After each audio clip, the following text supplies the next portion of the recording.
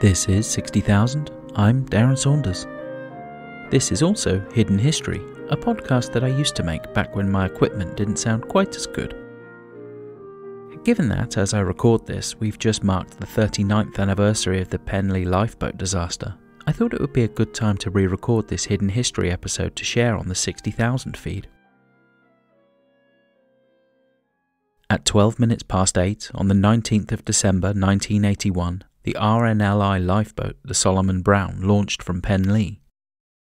It would be the crew's final launch.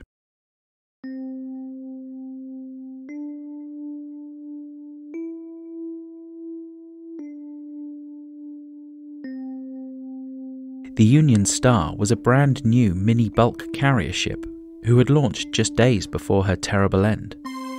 Built in Denmark in the port of Ringkøbing, she was en route on her maiden voyage from the Dutch port of IJmuiden to the Irish port of Arklow, carrying a cargo of fertilizer. While the Union Star was undertaking her journey, the residents of Mousehole in Cornwall were preparing for Christmas.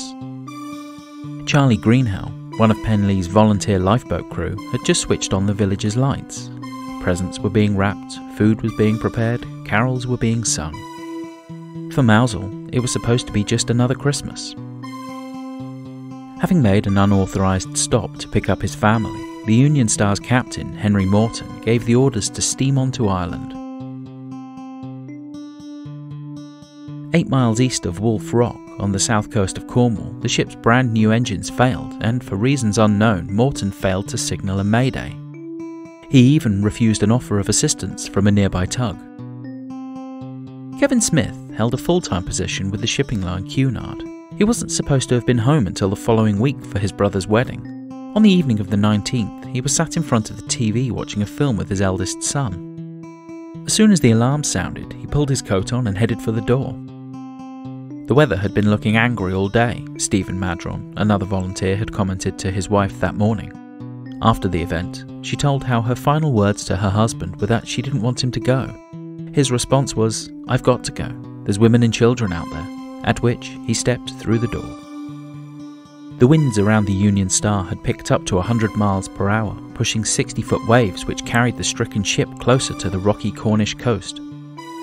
A Royal Navy helicopter was scrambled to offer assistance, but the violent waves meant there was very little its crew could do. That same helicopter, a mighty Sea King, would go on to provide critical support in the Falklands. XZ 574 would be unable to save anyone on this night, however. Between the Christmas preparations and the wild weather, the people of Mousehole weren't easily contacted. Eventually, the Coast Guard managed to get a message through to Penlee's coxswain, Trevelyan Richards, who immediately made arrangements to put the Solomon Browne on standby. Nigel Brockman was one of the men called to duty. A lifelong sailor, Nigel had taught his love of the sea to his son, Neil, who presented himself to be selected for the crew on this night. Trevelyan, not wanting to take two members of the same family, chose father over son. Neil would go on to be Penlee's coxswain in due course, his own son Luke joining the volunteer crew himself in 2012. 8:12 p.m. The crew climbed aboard the Solomon Browne and launched her into treacherous seas. A 47 foot, 20 year old wooden boat was not the best vessel for these conditions, but it was all they had, so they pressed on into the winds searching for the stricken ship. After several aborted attempts, the crew was able to get close enough to save four of the Union Star's eight souls, as announced by a member of the lifeboat's crew. This was the last radio contact that anyone would have from either vessel. No one really knows what happened next. The best assumption is that, as the Solomon Browne went in to rescue the remainder of those still aboard the Union Star, a huge wave dashed the two ships together, capsizing the bigger steel ship and turning the smaller wooden boat to matchsticks. Not all of the bodies were recovered.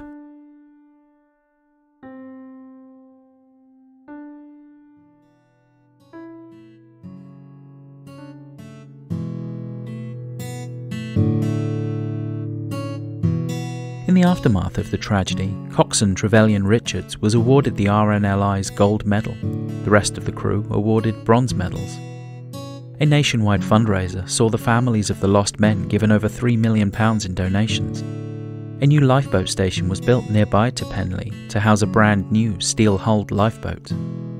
The original station has laid empty ever since, kept maintained as a memorial to the men who lost their lives. Three days after the tragedy, the Christmas lights switched on by Charlie Greenhaugh remained off. His widow Mary asked for them to be repaired and relit. Mousehole has been brightly lit every Christmas since, barring one hour at 8pm on the 19th of December. The day after the tragedy, the people of Mousehole had already formed a new volunteer lifeboat crew. Death is nothing more than a calculated risk when it comes to saving lives at sea. The RNLI is an invaluable organisation that somehow criminally relies on donations. It receives absolutely no government funding at all. Please, please visit rnli.org to donate towards their running costs.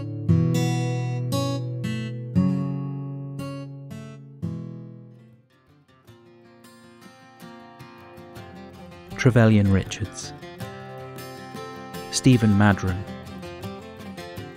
Nigel Brockman,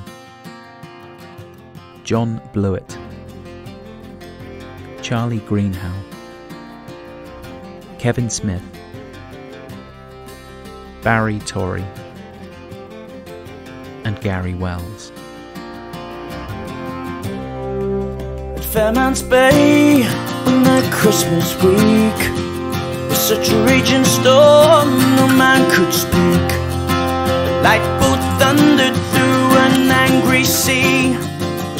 Solomon Browne and a company.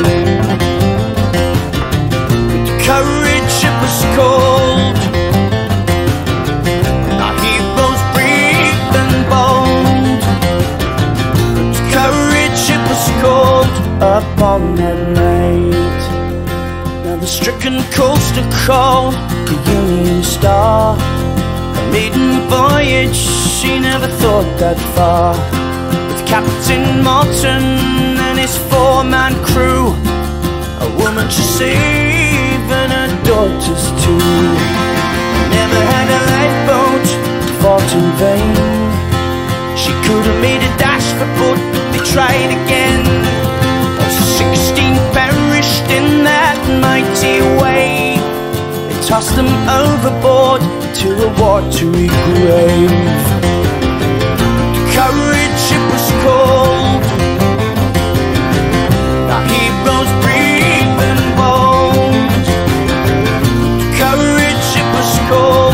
upon that night. Now back at Penlee Point, time stood still. For twelve young children cried for their fathers killed. A nation shed tears for years as the news went round. The constant courage of our Solomon Browne. Courage it was called.